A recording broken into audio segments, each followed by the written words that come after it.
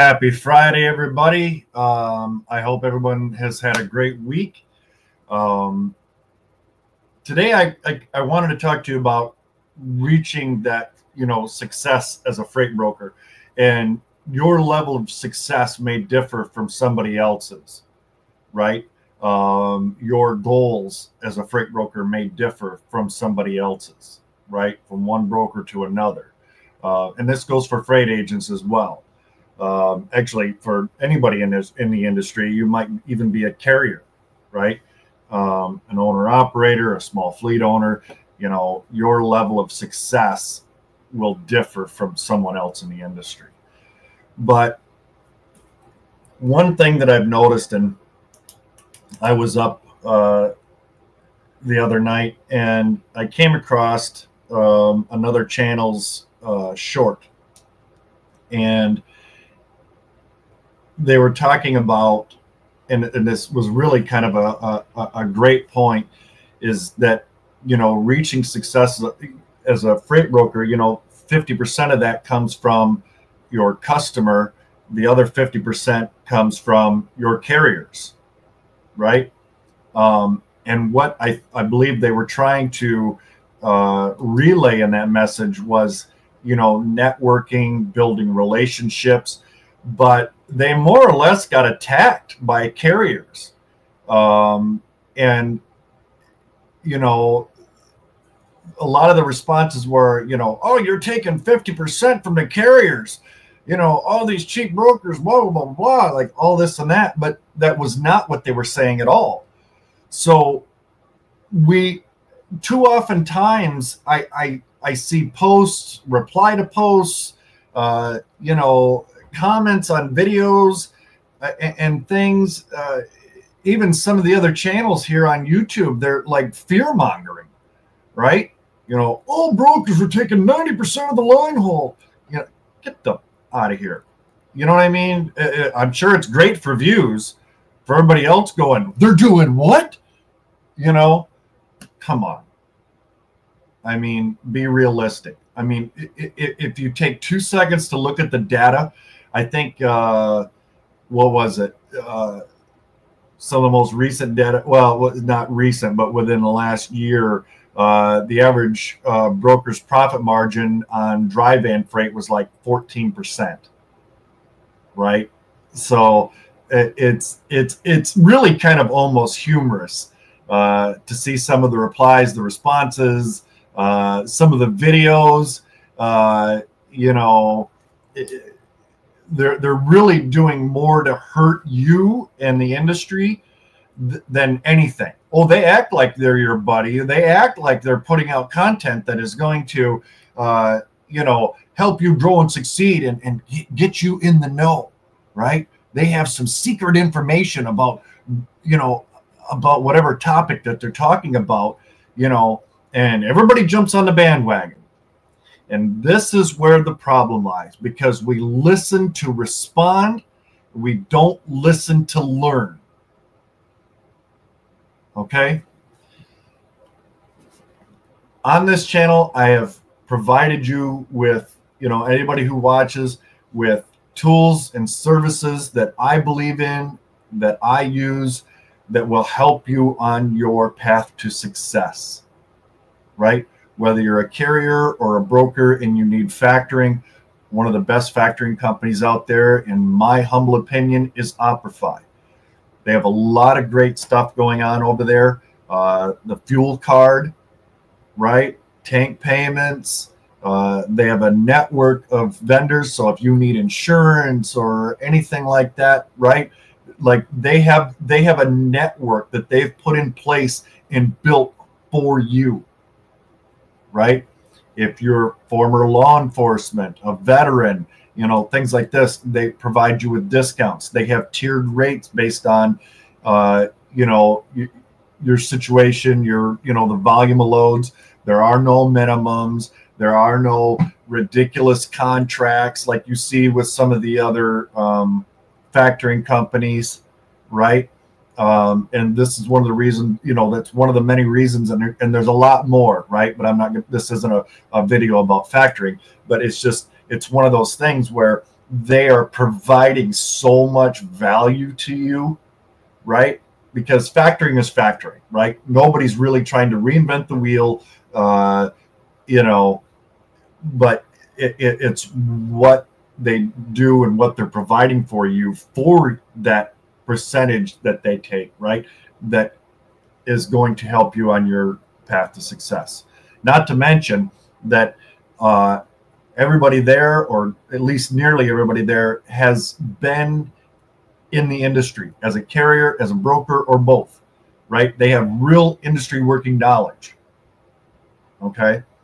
Um, e carrier check. All right. That's another one. That's a great place to source carriers, to find shippers, to help you grow and build your network. Nate and Jared over there, like I, I've said, go check out their channel. A uh, lot of great information over there. They do live cold calls. I mean, phenomenal, phenomenal content, right? Um, and Check is just, it, it's an invaluable resource. It pays for itself on practically day one, right? Uh, DAT. Now, this is part of the reason why I'm talking about some of these tools and services. Now, I did a post in the Facebook group uh, the other day about asking about people's preferred load board and why, right? Um, there's probably cons and pros and cons to, to either one. Um, my preferred is DAT uh, for numerous reasons, including the type of freight that I typically move, right? Do I have subscriptions to both? Yes, but um, I prefer DAT. One of the reasons why I prefer DAT and something that I've noticed because a lot of my freight, uh, for those of you that may be new to the channel, a lot of my freight I move primarily dedicated, right? I, I use the same carriers, same loads, same everything. So I don't move a ton of spot freight, okay? But one thing that I have noticed is, especially more here recently, I had a couple of uh, dry van loads, uh, was the the current market rate difference between DAT and Truckstop was anywhere from eight hundred to twelve hundred dollars difference on each lane. Right, DAT was twelve hundred dollars more on on one of the lanes, and uh, DAT was higher on uh, by eight hundred dollars on the other lane. So, uh, and I noticed that that market rate was updating more frequently than it was on Truckstop. Okay, so this is something to consider when you're picking out a load board, right? Um, the ease of use, right? Um, I, I, find Truckstop maybe to be a little bit cumbersome. It might just be me, um, but I, I'm just I'm, I'm not an overly big fan of it. Okay. Um, is it useful? Sure. Um, but again, not a big fan. And for anybody who doesn't believe me or wants to check it out, link in the description, save you 10%. Okay. Um, so getting back to, you know, building success or, you know, finding success as a freight broker, um, you know, I've talked to a lot of people who have been in the industry for a long time, you know, besides just myself, get their opinion. And, and there seems to be some commonalities in a lot of that, and that is, you know, networking, building relationships, right? Um, you know, obviously, I've talked about how you know uh, sales is a is a large part of what we do. Well, it's not just selling your services, right? You're selling yourself. You're building your network. You're building your relationships, right? And you will find that over time having those that network and those relationships is going to help you with your long-term success okay it doesn't happen overnight that's one of the reasons why we have the channel why we have the facebook group especially the facebook group uh, because it's a place for everybody to kind of connect grow right um, i've seen a lot of people connect um, on there. It's not a, really a place to post loads or anything, which if you're not already a member of the group, quick side note, please answer the membership questions. Too oftentimes I get uh, people that request memberships that probably would be a, a great fit for the group, um, but you don't answer the questions. Um, and at a certain point in time, I end up declining it, you know, and I guess hopefully they'll uh, join, right? They'll, they'll re-request and fill out the questions. Um, there's a reason for the questions. It's just not an automatic approval. If you think you're going to sidestep it, you're not.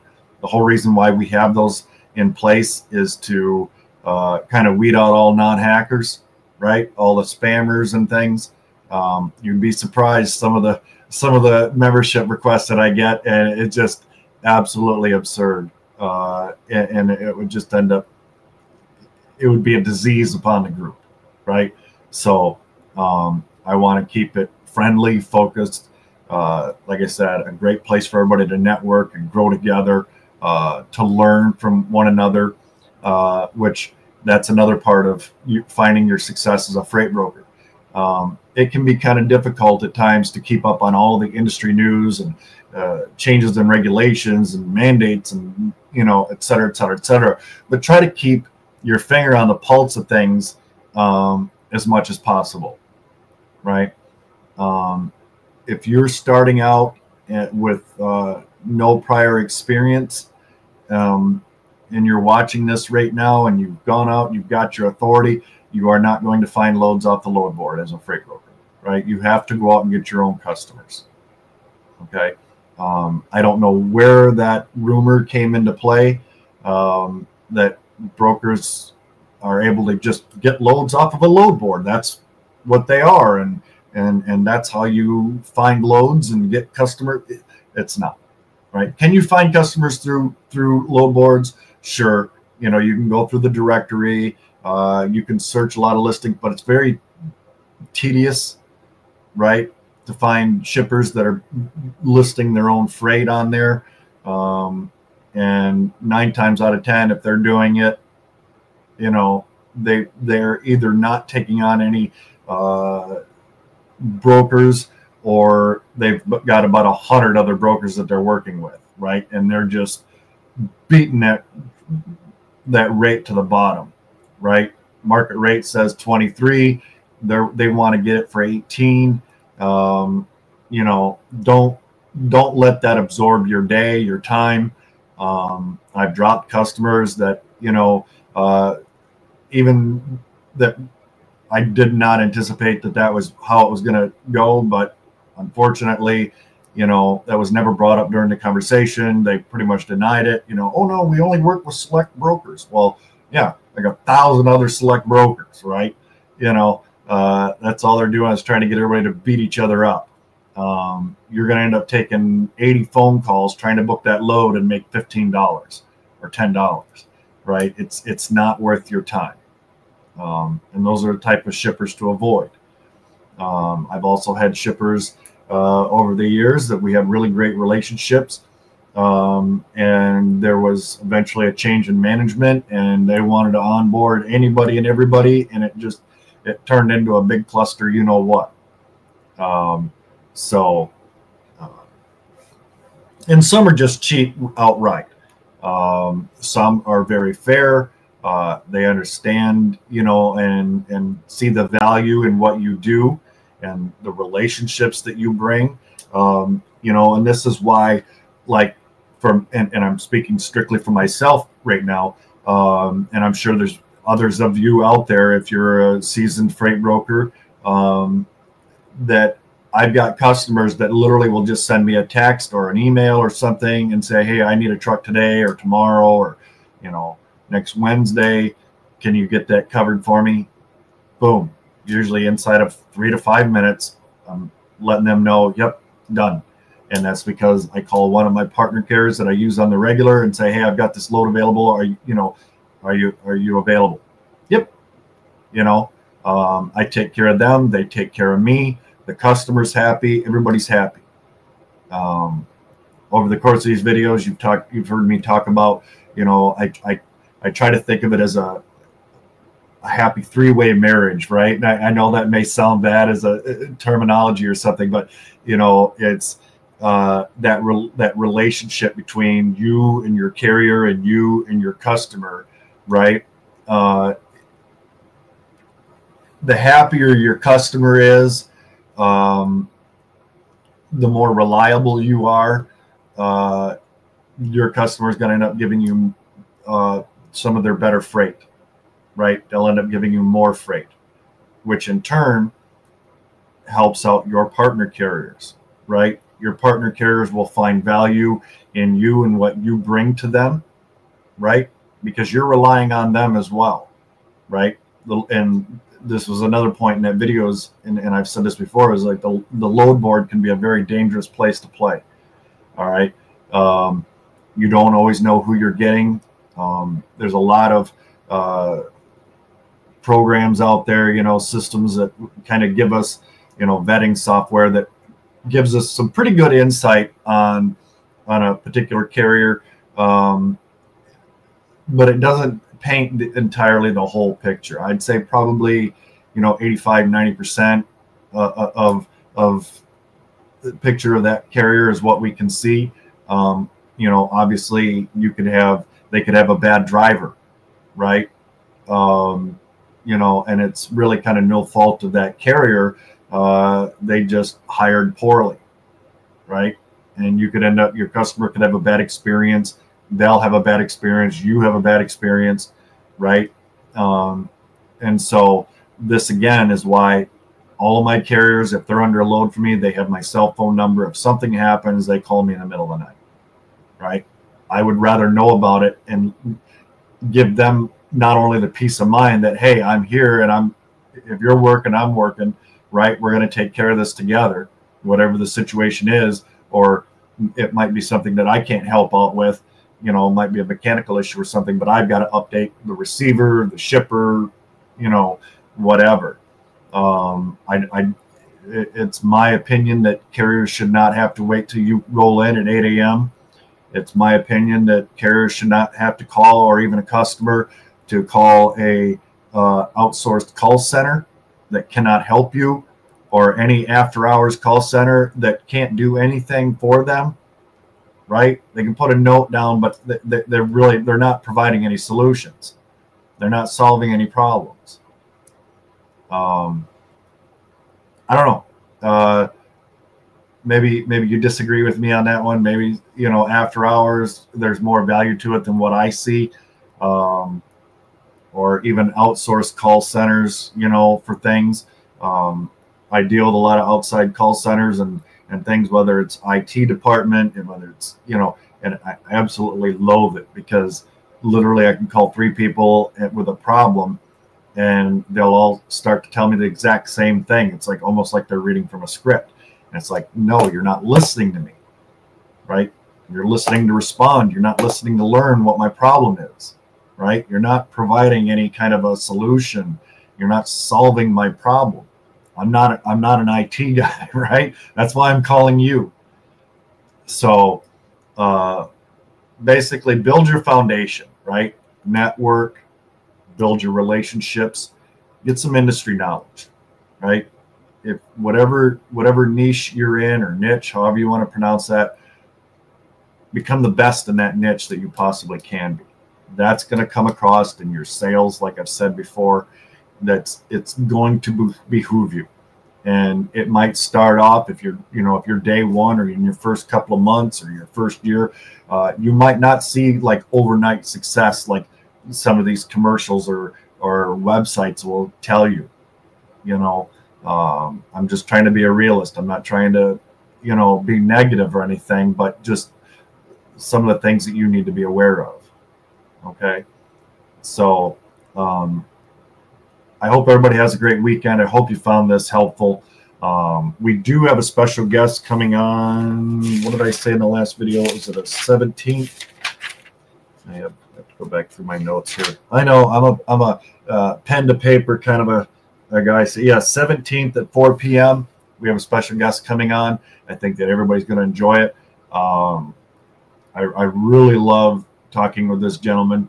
Uh, a lot of great insight, a lot of great knowledge, uh, very motivational. Um, so I hope that you'll all be here. Um, and as we get closer to that date, I will uh, um, have that prepped so that you know you can set a reminder for it. Don't forget to like, share, subscribe, join the Facebook group uh, if you're looking to build your network and grow. You know, and you really want to find success rather than beating your head against the wall, right? Um, if you're being discouraged right now because we're kind of at a time of year where uh, some shippers are not taking on um, brokers or partner carriers, you know, just yet. They might, some are already, some were last month, some won't till January, February, sometimes even March. Um, typically it's January though. So make sure you have a good CRM if you're on a budget, I recommend HubSpot, right? I don't have a link in the description for them, but you can look them up. It's a free CRM. Uh, you know, if your if your TMS doesn't currently use, you know, have a, a CRM built into it, uh, set your reminders. You know, obviously your email can set reminders. A lot of those will set, you know, calendar date reminders for you uh, to to reach back out to them. You know, um, I've got several myself, but we're still adding customers right? We're still adding customers. You just have to be diligent. Don't get discouraged. Uh, you know, if you get a no, um, you know, in fact, the, the gentleman that's going to be on on the 17th, we were actually talking about this. You know, there, I, I've had calls in the past where, you know, it might be a Monday morning and I call them and, hey, this is Tim, you know, and I, you know, ah, I'm not interested. Boom, you know, and I, I barely got my name out and they just hung up on me, right? And I waited, you know, four or five days, a week, week and a half, you know, and I called them back. The response was completely different. You know, uh, maybe they spilled coffee on themselves on their way to work or something. You know what I mean? Uh, they got in an argument with their spouse, or you know, maybe they got a ticket on the way to work or something. You know what I mean? Like it, anything can happen. It put them in a bad mood. Maybe they walked into a big, you know what, show uh, and and their their whole day is just going to be fraught with problems, right? And so, don't let that no discourage you, right? I hear no, everybody hears no. Okay, just stay diligent. Just you, for every no, you're going to get closer to a yes, right? So, if you need help on that, I have other videos on how to find and source uh, shippers. Again, and it you know i would say get eCarrierCheck a lot of great information uh, you know there's contact information linkedin profiles to, to, you know the person that you need to speak with a lot of great information what you know the size of the shipper they are whether they're small mega medium large uh, so depending upon whether you're looking for volume freight or you know that type of a thing uh, just so much information in there i really need to have nate and jared back on um, on the show to kind of go over that again. But uh, anywho, uh, I'll go ahead and shut this down for now. I hope everybody has a great weekend. Um, stay positive, and till next time, be kind to one another. Bye bye.